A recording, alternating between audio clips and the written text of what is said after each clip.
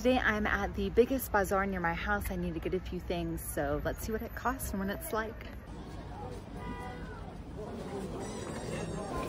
This is the bazaar I always come to if I'm needing fruits, vegetables, or spices. It's by far the cheapest in the area. Let's see how much some fruits cost.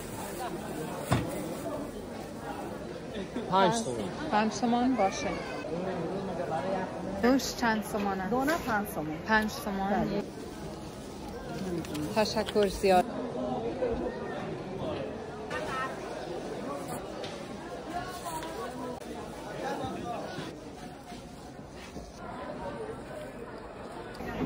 I think I got everything.